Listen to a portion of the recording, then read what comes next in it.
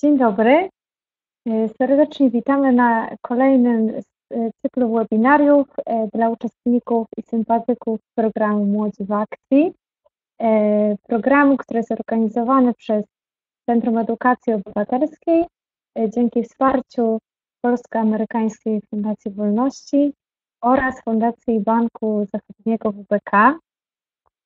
Nazywam się Martyna Sendek Jestem e, koordynatorką programu Poczytajmy właśnie w Centrum Edukacji Obywatelskiej e, i poprowadzę właśnie dla Was webinarium, to spotkanie dotyczące ścieżki, która jest od tego semestru. Poczytajmy lokalnie.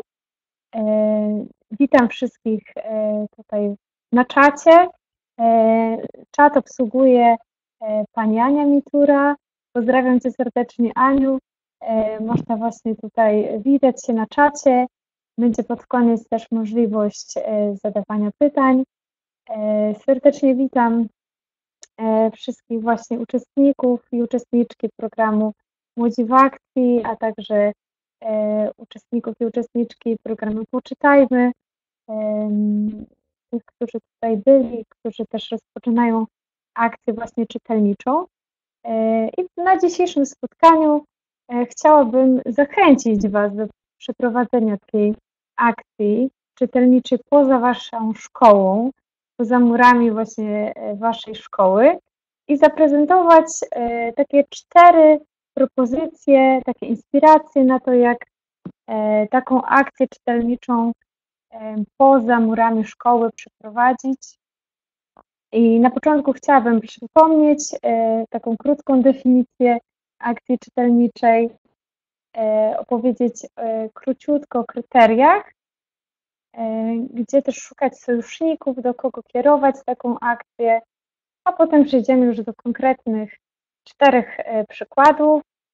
Pod koniec też podeślę Wam takie linki, gdzie warto szukać jakichś inspiracji dalej, na jakieś scenariusze właśnie akcji czytelniczych, gdzie warto sięgnąć, więc, e, więc to wszystko będzie e, pod koniec naszego spotkania, jak również właśnie pytania, które będzie można zadawać na czacie.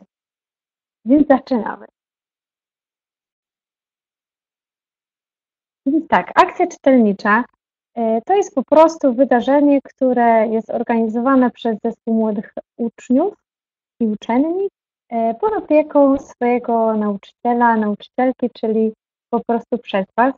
I celem takiej akcji to jest po prostu promocja czytelnictwa, e, gdzieś takie rozmiłowanie, zachęcenie do czytania e, odbiorców, do których, do których właśnie kierujecie swoją akcję. I jakie są właśnie kryteria, po czym poznać, że ta akcja czytelnicza jest skuteczna, jest dobra, e, jest właściwie właśnie przeprowadzana. E, ja chciałabym się posłużyć takimi dwoma porównaniami, e, które, które jakoś tak może zobrazują taką dobrą akcję. Dla mnie dobra akcja czytelnicza jest jak prywatka. E, która jest organizowana całkowicie przez uczniów i uczennice i jest zgodna z zainteresowaniami. E, często nas e, kusi jako nauczycieli, żeby gdzieś poddać jakąś książkę, jakąś wartościową lekturę, która dla nas jest ważna teraz, czy była dla nas ważna właśnie w młodości. Bardzo byśmy chcieli właśnie, żeby uczniowie się tym zainspirowali. E, ale zachęcam Was e, serdecznie, żeby oddać e, stery właśnie w ręce uczniów i uczennic, żeby to oni zaplanowali tą akcję, żeby sami wybrali książkę, żeby była właśnie ta, ta akcja, niech będzie właśnie jak ta prywatka, jak, jak dobra impreza, którą uczniowie po prostu samodzielnie organizują. Dobra akcja jest również jak budzik, bo odbywa się w określonym miejscu i w określonym czasie, e, a przede wszystkim e, aktywizuje odbiorców, tak jak budzik nas aktywizuje codziennie do wstania, e, to ta akcja właśnie ma pobudzić, rozruszać ma gdzieś po prostu rozmiłować innych właśnie w książkach, gdzieś zachęcić ich do czytania. Czasami ten efekt nie będzie widoczny od razu, ale gdzieś na pewno widok młodych ludzi, którzy, e, którzy mówią o książkach, którzy pokazują, że książki są wartościowe, e, czy to dla młodszych, czy dla starszych, na pewno będzie zachęcający. E, w to wierzymy i do tego właśnie zachęcamy Was, żebyście pracowali właśnie z młodzieżą. Chciałabym pociągnąć teraz trochę wątek odbiorców E, akcji czytelniczej. E, planując wydarzenie, e, zastanówcie się, do kogo kierujecie Wasze działania. Czy to są rówieśnicy młodzieży, czy może to są młodsi koledzy i młodsze koleżanki z klas, na przykład 1-3 czy z przedszkola, czy może to są rodzice, dziadkowie, czy to są przypadkowi przychodnie, E, jeśli organizujecie to na przykład w jakimś centralnym e, miejscu waszego, waszej miejscowości, czy może to są sąsiedzi z pobliskiego osiedla, e, miejcie zawsze w głowie konkretnych ludzi i też starajcie się tak naprowadzić młodzież, żeby najpierw pomyślała sobie o konkretnych osobach, które które są jakoś tam wokół nich, z którymi może mają relacje, e, a może z którymi właśnie chcą nabyć e, takie relacje, kogo oni widzą. Spróbujcie zobrazować, zwizualizować, żeby e, ta akcja nie była taka oderwana od rzeczywistości, tylko faktycznie, żeby, żeby była skierowana do tych, którzy są realni. Warto też samo wydarzenie e, skierować do konkretnej grupy, na przykład e, rozejrzeć się za jakąś instytucją.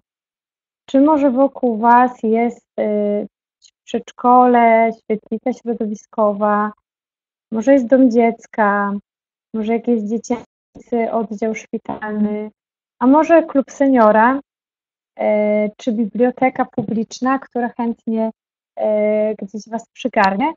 E, dobrze jest pomyśleć właśnie o jakiejś takiej instytucji, które e, chętnie oddadzą Wam przestrzeń, dadzą Wam możliwość właśnie e, bycia w murach czy na podwórzu, ale przede wszystkim oprócz przestrzeni to dadzą Wam ludzi, których możecie zainteresować książkami, którzy chcieliby po prostu porozmawiać, spędzić czas, E, i którzy może tego oczekują właśnie, żeby, e, żeby przysz, przyszła do nich młodzież i, i zadziałała.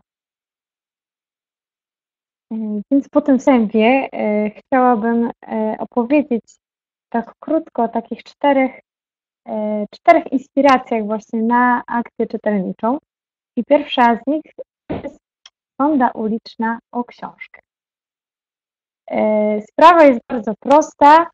E, w zorganizowaniu, ponieważ chodzi po prostu o wymyślenie ciekawych pytań i zadawania im ich po prostu danej grupie ludzi, tak jak mówiłam poprzednio. E, czy zdecydujecie się, czy to będą przychodnie, czy to będą gdzieś osoby z jakiejś instytucji, do których będziecie przychodzić i zadawać im pytania, to już musicie wy wymyśleć i zobaczyć, jakie macie możliwości. E, generalnie taka sonda uliczna o książkach, to chciałam Wam e, na to zwrócić uwagę, to e, moim zdaniem sukcesem jej jest wymyślenie ciekawych pytań, które zainteresują uczniów i uczennice, którzy będą wymyślać. I starajcie się, żeby, żeby unikać takich ogólnych pytań, na przykład co czytasz, tak, co polecasz, e, tylko postarajcie się gdzieś e, o takie naj, jak najbardziej szczegółowe pytania, które będą nieoczywiste, zmuszą trochę właśnie odbiorców do refleksji. Może będą dość trudne i zaskakujące, ale liczę właśnie na kreatywność Waszą i Waszych uczniów i uczennic. I pierwsza taka grupa wypowiedzi, które, które warto zadać, to są właśnie jak tutaj na slajdzie, to jest dokończ zdanie. E, ja to sobie wymyśliłam takie trzy. E, książka, z którą nie mogę się rozstać, to czytam bo, albo właśnie nie czytam bo. To może być, e, uważam, że to, że to może być ciekawe pytanie. Czy ostatnio właśnie książka, którą dzieci powinny przeczytać za 100 lat? Zadajcie po prostu takie pytania jakieś osobom, żeby, e, żeby po prostu dokończyły to zdanie. E, a druga e, grupa wypowiedzi to są po prostu pytania. Tylko tak jak mówiłam, najlepiej właśnie, żeby były nieogólne i też, żeby nie zaczynały się od czy, czyli były jak najbardziej otwarte. Na przykład, w jakim miejscu najlepiej Ci się czyta? W ubiegłym roku, jak przyglądałam te coroczne badania Biblioteki Narodowej, to okazywało się, że najlepiej, e, znaczy najwięcej Polaków i najlepiej się czyta e, w łazience i w autobusie, więc można to sprawdzić, czy to się pokrywa e, z tymi badaniami. Oraz takie pytanie, komu poleciłbyś książkę, którą aktualnie czytasz? Czyli to jest takie złożone, co czytasz i komu właśnie byś polecił. Możecie zadawać e, na tej sądzie ulicznej, e, wybrać sobie jedno pytanie, które postawicie każdej osobie, albo e, cały zestaw pytań i później wybierzecie coś z tego ciekawego. Zachęcam Was bardzo, żeby na tej sądzie na pytaniach nie skończyło, ale żebyście zorganizowali taką mini wystawę najciekawszych wypowiedzi. Mogą one być na jakimś plakacie, mogą być po prostu jako cytaty gdzieś zebrane. E, warto gdzieś zrobić wystawę, czy w Waszej szkole, e, ale skoro tematem jest, żeby zrobić tą akcję poza szkołą, to zachęcam, żebyście może, może przy bibliotece publicznej wystawili E, zazwyczaj e, bibliotekarze, bibliotekarki e, są bardzo życzliwi, a może skwerku, czy w parku, czy w jakim, przed urzędem na przykład gminy, jeśli uzyskacie zgodę, postarajcie się właśnie, żeby te najciekawsze odpowiedzi zostały gdzieś wyeksponowane. O czym jeszcze trzeba technicznie pamiętać, to e, po pierwsze zawsze pytajcie się e, danej osoby, z którą będziecie przeprowadzać taki mini wywiad, o zgodę e, na użycie wypowiedzi oraz na użycie wizerunku. Możecie też się zapytać, jak, się, jak ma na imię i czy sobie życzy na przykład Waszą wypowiedź podpisać znaczy swoją wypowiedź podpisać. Tutaj jeszcze na obrazku jest, e, jest kamera i jest, jest ekran. E, postarajcie się może o dyktafon, o aparat cyfrowy, o kamerę. E, może warto wtedy też pomyśleć o statywie, czy o zwykłym, tele, zwykłym telefonie właśnie z funkcją nagrywania, żebyście mieli po prostu, y, żebyście mogli te pytania gdzieś i odpowiedzi zarejestrować. Y, bo, y, bo myślę, że warto.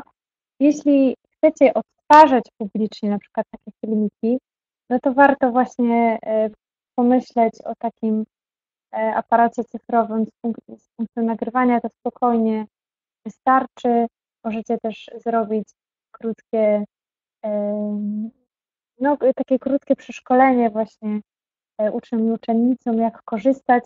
Wiem, że poprzednie webinarium dotyczyło właśnie takich, e, takich tutaj spraw dotyczących właśnie nagrywania, rejestrowania, więc zachęcam, żeby kto, kto nie mógł, żeby po prostu jakoś sobie tworzyć to działanie. Drugą akcją to są książkowe sekrety.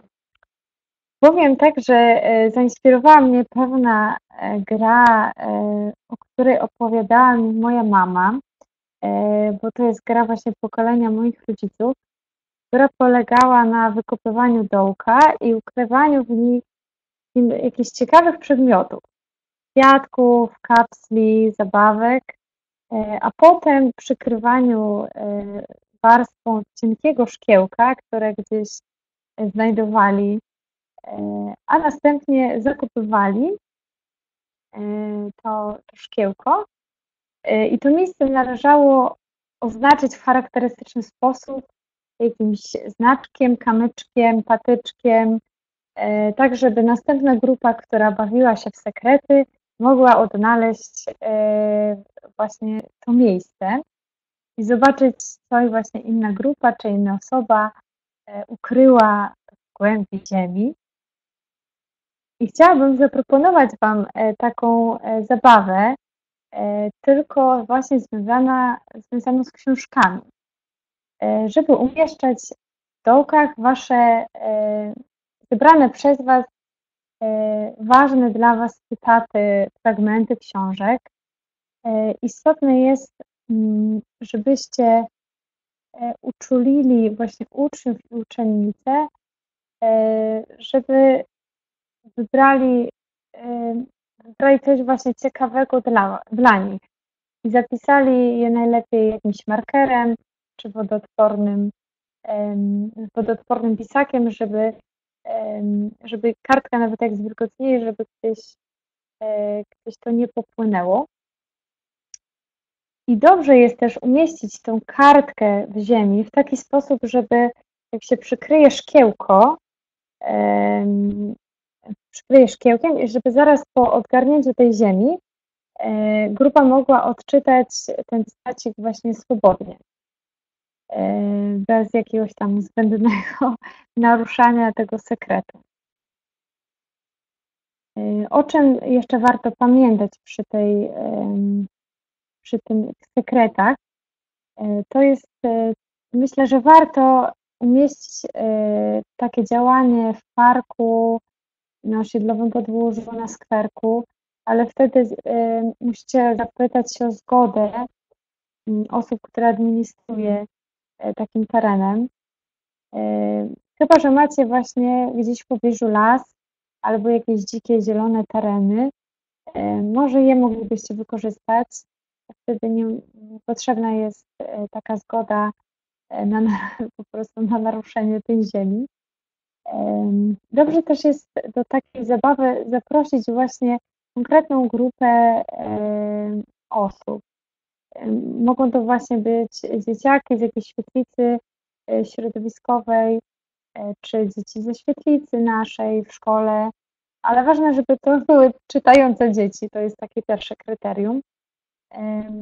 Tak, zaproście po prostu do takiego luźnego biegania, szukania tych sekretów, to może być niezła frajda. E, dodatkowo można taką, takie działanie połączyć e, z grą e, terenową, właśnie żeby zorganizować ją gdzieś w takim zielonym miejscu, wykorzystując te sekrety, żeby biegać właśnie po lesie i odnajdywać różne inspiracje właśnie książkowe. Chciałam Was odesłać do bardzo E, ciekawego webinarium, które właśnie było organizowane w Poczytajmy o, mm, o takich, e, o tym, jak zorganizować taką grę, więc nie będę się rozwodzić trochę nad tym, a później mogę Wam podesłać link już po, e, po naszym działaniu. Też na naszej stronie jest taki materiał krótki, który powstał po tym webinarium, jak krok po kroku taką grę terenową przeprowadzić, jeszcze z wykorzystaniem QR-kodów i telefonów, więc e, tutaj odsyłam na naszą stronę poczytajmy co.org.pl. A wracając do sekretów, to jeszcze powiem, że te sekrety możecie też połączyć z piknikiem po prostu, na którym przygotujecie e, pyszności, które, e, które są wyjęte gdzieś żywcem z książek, czyli po prostu przepisy waszych e, książkowych bohaterów, wypieków, można też zrobić quiz, jakie właśnie, jaka potrawa kojarzy Ci się z jaką książką, z jakim bohaterem, E, to też może być ciekawe właśnie połączenie. Mm, i jakieś wplecenie tych sekretów e, po prostu właśnie pomiędzy, e, pomiędzy jedzonko. Kolejnym tutaj działaniem, które chciałabym zaproponować, to jest spacer z książkami. Może na początku brzmi on tak dość prosto, ale już mówię o, czym, o co mi chodzi. E, chodzi mi o połączenie e, jakichś e, miejsc w Waszej miejscowości mm, z danymi fragmentami książek, które oczywiście wybierają Wasi uczniowie i uczennice, które po prostu kojarzą im się z danym miejscem. Na pierwszy rzut oka jest to trochę nieoczywiste, więc Zachęcam, żebyście przygotowali e, mapę waszego e, miasta, waszej miejscowości.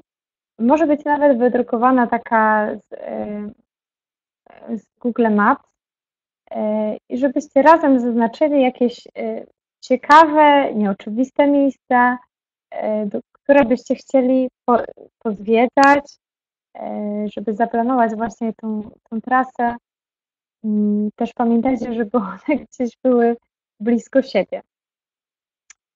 E, więc jak już będziecie mieć wybrane te miejsca, to pomyślcie o fragmentach książek, które,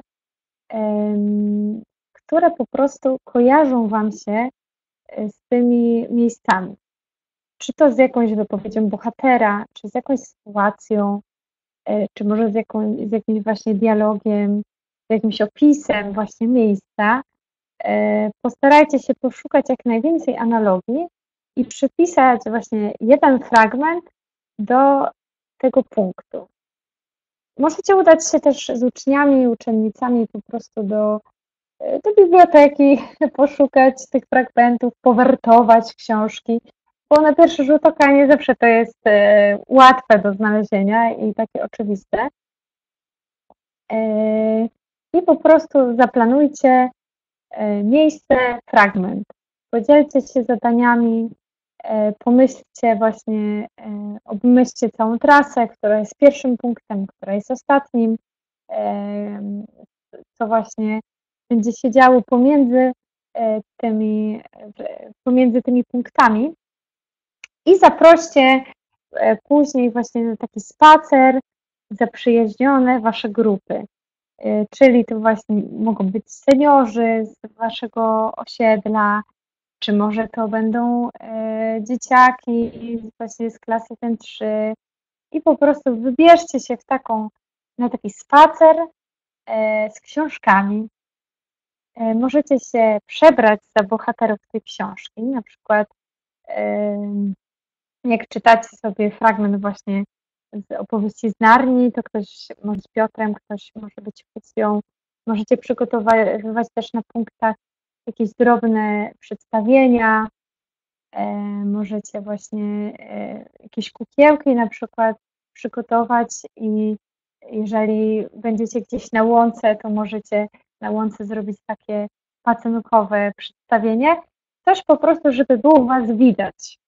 E, że wyjdziecie po prostu po waszej miejscowości i zrobicie e, no, taki nieoczeki, znaczy nieoczywisty e, i nieoczekiwany w ogóle pochód książkowy, więc weźcie też ze sobą książki, może to będą jakieś, jakiś taki wasz punkt charakter, taki charakterystyczna rzecz, którą będziecie mieć ze sobą, z którą się możecie identyfikować. No i idąc tą trasą, e, zwróćcie też uwagę, że mogą być osoby, które będą Was miały, czyli po prostu zwykłych przychodniów. Może oni też chętnie by się dołączyli do takiego pochodu. Zastanówcie się, czy jesteście na to gotowi, czy nie. A może właśnie wykorzystać tę sytuację i podarować im zakładki do książki, może jakieś inne czytelnicze gadżety, e, które będą e, gdzieś tak promowały właśnie e, czytelnictwo i promowały, promowały to, żeby się z jakąś książką zapoznać. Więc możecie na przykład rozdawać jakieś, mm, jakieś kukiełki właśnie, czy jakieś pluszaki, które własnoręcznie zrobicie, bohaterów danej książki, którą czytacie. Co jest ważne tak technicznie przed takim wydarzeniem, to przede wszystkim e, pójdźcie na spacer próbny. Zbierzcie się całym zespołem i po prostu przejdźcie tą trasę, zobaczcie, czy ona nie jest zbyt trudna, czy nie jest zbyt długa, czy nie jest zbyt męcząca. E, I miejcie w głowie ciągle tych waszych odbiorców, czy e, te osoby, które pójdą z wami na spacer, to czy ich faktycznie zainteresujecie. E, no i warto też przed takim spacerem zaprosić, e, właśnie przygotować jakieś ładne zaproszenia dla osób, które, które zamierzacie zabrać ze sobą, e, czy także plakaty właśnie informujące o takim pochodzie, do którego można się dołączyć, w zasadzie to, co chcecie. To jest, zostawiam Wam taką dużą dowolność, żeby ten spacer z książkami był jak najbardziej wasz e, i jak najbardziej odpowiadał też charakter, charakterowi waszej miejscowości. To też warto wydobyć. I takim ostatnim pomysłem e, to są happeningi czytelnicze. Happeningi to są, czyli po prostu takie artystyczne wydarzenia z książkami w roli głównej, E, dobrze je organizować właśnie w takim miejscu, gdzie, e, które, które tętni ludźmi po prostu. E, tętni ludźmi jest dość właśnie uczęszczane, tak żeby jak najwięcej osób mogło Was zobaczyć, wziąć udział, zastanowić się. I te happeningi głównie są organizowane dla już zupełnie takich, najczęściej są spontaniczne, ale chodzi mi o to, że, że głównie dla przechodniów, dla osób, które, z którymi się już nie umówicie, tylko e, po prostu przypadkowo zobaczą Was na tym miejscu, w którym, w którym jesteście. I tutaj mm, chciałam was, Wam zaproponować takie e, cztery mini właśnie pomysły, takie ścieżki, e, które możecie właśnie wykorzystać. Pierwsze to jest czytanie równoczesne. E, zgromadźcie się w, ten, w jakimś charakterystycznym właśnie miejscu całą grupą, e, na przykład na placu czy w parku, e, a potem niech każdy i każda z Was znajdzie wygodne miejsce i po prostu zacznijcie czytać. Żeby naraz czytało jak najwięcej osób i zobaczenie tylu młodych osób, które po prostu czyta w jednym miejscu, którzy są jakoś rozproszeni na jakiejś przestrzeni, ale widać, że jest to celowe, e, naprawdę poruszy, poruszy przechodniów i będzie już samo w sobie jakąś promocją e, czytelnictwa.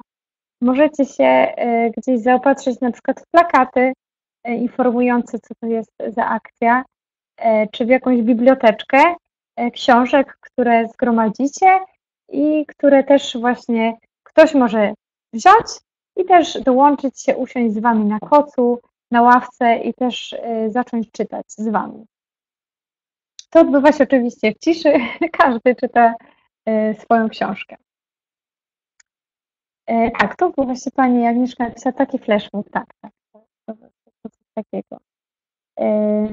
Tylko flashmoby, jak czytam, to one są bardziej właśnie, e, znaczy są spontaniczne i są organizowane przez osoby, które się nie znają. A happeningi yy, przez właśnie przez no, jakieś grupy, które, które już ze sobą pracują, a w takim wypadku jesteście wy. Poznacie swoich uczniów i oni siebie znają.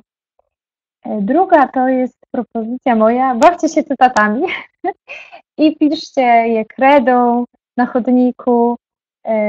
Tutaj takie fantazyjne drzewko cytatów na naszej, o tutaj, na naszej prezentacji. Zapiszcie jakieś chwytliwe fragmenty, hasła, właśnie cytaty, wypowiedzi bohaterów z książek, które są ciekawe, zabawne, które zmuszają do myślenia. Możecie je przykleić do słupa z ogłoszeniami, a możecie rozdawać po prostu jako ulotki, żeby zachęcić właśnie do, do czytania. Może właśnie też zapisać, jakie książki to jest, kto jest autorem, żeby taka osoba, która jej się spodoba, żeby mogła sięgnąć do takiej właśnie do, do tej książki. E, kolejną moją propozycją jest, e, jest zorganizowanie przedstawienia, ale e, właśnie gdzieś poza szkołą.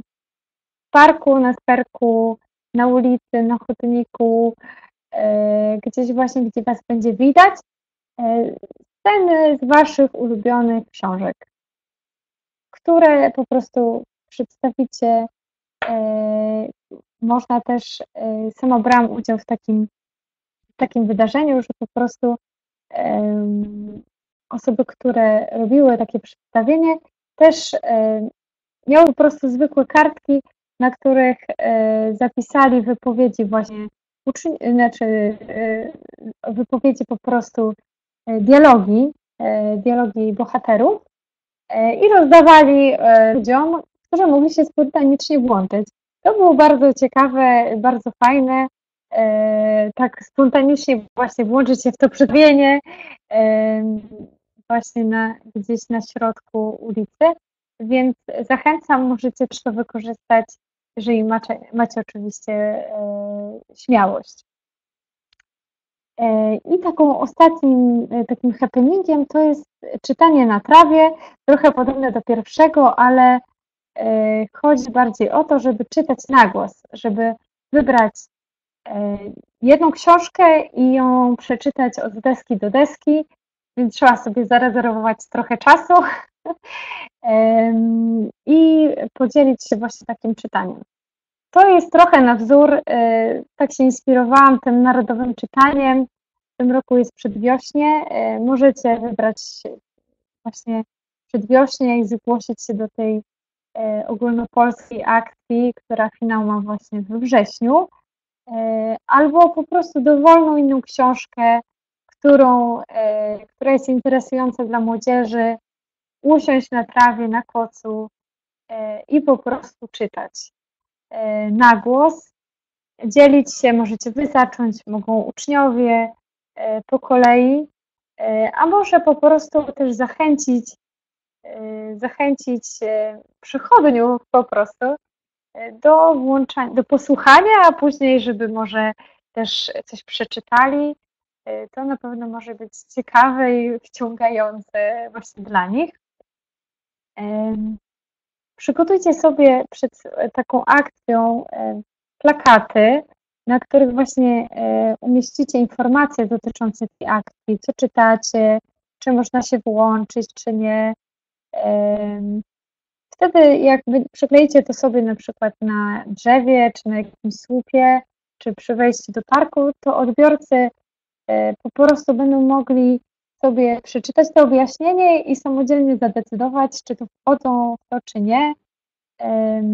Spróbujcie też e, własnoręcznie przygotować upominki, e, takie gadżety czytelnicze, które no, które będą po prostu miłą niespodzianką dla, mm, dla osób, e, które Was usłyszą. To mogą być właśnie klasyczne zakładki do książki, e, ale pomyślałam sobie też o balonach z cytatami, czy balonach z postaciami e, z książki, którą czytacie. To mogą być upieczone ciasteczka z cytatem, czy lista polecanych przez Was książek na takiej, w formie takiej ulotki. i może to stać sobie po prostu przy, przy Was, który ktoś sobie mógł brać, albo po prostu będziecie nagradzać wszystkich, którzy włączą się, przysiądą do tego na ten koc, posłuchają, włączą się w czytanie. Mm, to zależy w zasadzie od Was. Tak, więc tak podsumowując i tak zbierając, bo te cztery właśnie pomysły, to pierwsze to jest sonda uliczna i prezentowanie wypowiedzi w jakimś ważnym miejscu. Książkowe sekrety połączone z piknikiem lekturowych pyszności oraz y, z grą terenową. Proponuję też Wam spacer z książkami, czy happeningi, o których przed chwilą mówiłam, e, czytanie równoczesne, cytaty na chodniku, przedstawienia i czytanie na trawie. To, to są, uważam, takie krótkie akcje czytelnicze, które możecie w bardzo szybki sposób, bo jeszcze bo już czasu jest mało do końca semestru, możecie po prostu przygotować. Ale gdzie jeszcze szukać inspiracji, bo to często są właśnie pytania, to taką największą teraz akcją e, czytelniczą to będzie Noc Bibliotek, e, która się odbywa e, w końcu czerwca i jest organizowana właśnie przez TO. Można się jeszcze do niej zgłosić, jeśli wiem, więc możecie po prostu dołączyć do tej akcji zorganizować w Waszej bibliotece szkolnej czy w bibliotece e, publicznej, jeśli takowej jesteście, e, właśnie takie działania, e, działania właśnie czytelnicze. A jeśli nie chcecie wziąć udziału w tej akcji, to polecam chociażby materiały właśnie na stronie Nocy Bibliotek. Jest tak zwana półka z pomysłami, gdzie znajdziecie bardzo e, interesujące e, scenariusze. E, scenariusze na długie akcje czytelnicze, scenariusze na krótkie spotkania z dzieciakami. Tego jest naprawdę sporo. Też są jakieś porady właśnie, jak pracować z młodzieżą, na co zwrócić uwagę, jak włączyć właśnie różne, różne takie narzędzia informaty, informatyczne do, e, do biblioteki czy właśnie do pracy z uczniami. E, ja tu szczególnie polecam takie trzy, e, trzy takie, no takie inspiracje właśnie, mobilna biblioteka, ona polega na tym, że żeby zrobić taką bibliotekę po prostu w parkach, taką objazdową, E, żeby po prostu dzielić się książkami i żeby, żeby też jakoś wymienić się różnymi inspiracjami. To, to jest taki pomysł, ale nie będę go rozwijać, tylko e, po prostu gdzieś odsyłam. E, to są też pomysły takie, z takiego scenariusza Polska ze 100 lat, właśnie świętowania niepodległości z książkami. Tam są, jest kilka działań, które można właśnie wykonać. E, pytania właśnie o książki, o książki e, jakie się czytali, jakie czytali ludzie 100 lat temu, e, jakie będą za 100 lat, jakie będą za 50. To ciekawe takie, takie właśnie rzeczy. Czy podwórko biblioteczne, trochę nieskromnie się przyznam, że to jest mój pomysł, ale tak mi się skojarzyło gdzieś po prostu bo tam opisuję w tym scenariuszu, jak wykorzystać podwórko przed biblioteką, przed szkołą, żeby e, gdzieś tą książką działać. E, więc jeśli chcielibyście coś jeszcze się właśnie zainspirować, to, to zachęcam, żeby, żeby sięgnąć do, do tych pomysłów spółki z, z pomysłami. E, jest też strona Poczytajmy. Na niej, jak wejdziecie właśnie w link, to E, tam szkoły, które się zgłaszają, e, umieszczamy tam relacje e, i są bardzo różne działania, więc możecie się naprawdę odnaleźć w takim samym wachlarzu działań, więc zachęcam, żeby, żeby sięgnąć. Tam są właśnie pomysły na akcje, które przeprowadzało, przeprowadzały szkoły, więc w 100% można to zrobić, a oprócz tego scenariusze, e, scenariusze takich spotkań, a szczególnie zwróćcie uwagę, bo niedługo, naprawdę na dniach pojawi się e, scenariusz akcji właśnie inspirowanej książką Pszczoły miodne i niemiodne z takiej, no z takiego właśnie z takiego programu Poczytajmy o pszczołach, który teraz robimy przez e, maj i przez czerwiec, więc to też może być jakaś e, inspiracja do działania. E, czy, czy taki plik pomysły Szkoła z klasą 2.0 na przeprowadzenie tygodnia czytelniczego w szkole, poza szkołą? Takie krótkie, krótkie po prostu inspiracje, co można kilka minut zrobić z uczniami. E, a dodatkowo duża akcja też na początku czerwca, jak nie czytam, jak czytam, która polega właśnie na tym, że e, to jest akcja ogólnopolska, że dzieciaki e, w jednym właśnie miejscu, w jednym czasie umawiają się, czytają, czytają książkę. Trochę tak jak w tym happeningu, ale to dzieje się zazwyczaj w szkołach Mm, no, można poczuć taką moc, taką siłę, taką jedność czytania i tego, że czytelnictwo wcale nie umiera. E, a poza tym polecam stronę Lustro Biblioteki. E, tu jest e, pierwsze, to są 10 akcji, które zorganizowało, zorganizowało 10 bibliotek i 5 pomysłów, które też 5 bibliotek przygotowało właśnie, jak się promować na zewnątrz jak właśnie e, mówić o książkach na zewnątrz tej biblioteki. Więc e, to są takie pomysły, e, do których właśnie zachęcam, warto sięgnąć. Nie wiem, czy udało Wam się może kliknąć na tym, na, z tej prezentacji. Jak nie, to poproszę Anię, żeby później wysłała te wszystkie linki Wam pod koniec E, jutro czy pojutrze, e, żeby po prostu nie umknęło. Mm, I teraz czas na pytania. E, widzę, że tutaj dzielicie się na czasie, o, czacie tutaj o tak, jakimiś działaniami. O, widzę właśnie pszczoły i pozdrawiam Panią Wiesławę. Zachęcam bardzo, żeby się włączyć.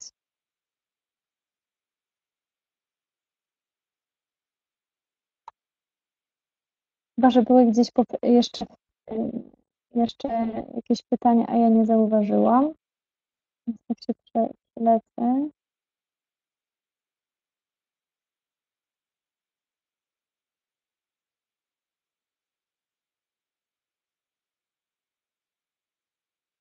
O, widzę, że była randka w ciemno tutaj wspominana też. Też ciekawa akcja. To jeszcze poczekam kilka minut, jeśli ktoś będzie chciał coś, o coś się zapytać, e, to zachęcam. A jeśli nie, to też jestem dostępna e, po, e, po webinarium. To jest mój mail martynasedek.org.pl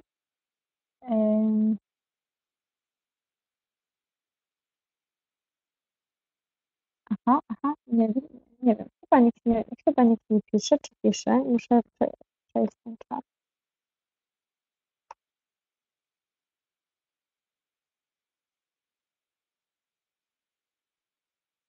Dziękuję Pani Wiesławo. Dobrze, to ja może... Y, a, widzę, że tutaj jeszcze Pani Ewa pisze. Jeszcze poczekam.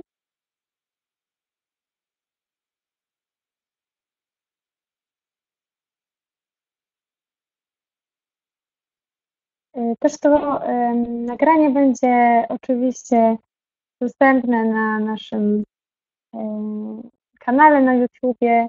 Będziecie mogli do niego wrócić, y, też jakby sobie przejrzeć. Y, serdecznie Wam dziękuję za udział, za poświęcenie tego czasu. Dziękuję też za to, za te wszystkie zdolności, które robicie z uczniami w szkołach. E, bo dzięki temu zmieniacie świat i zmieniacie świat czytelniczy przede wszystkim i wychowujecie właśnie młodych, mądrych czytelników. Bardzo dziękuję, y, serdecznie Was pozdrawiam y, i jak będzie jakaś potrzeba, to po prostu piszcie do mnie tak, ze, ze wszystkim, co chcecie. Bardzo dziękuję, dziękuję jeszcze raz, do widzenia i wszystkiego zaczytanego.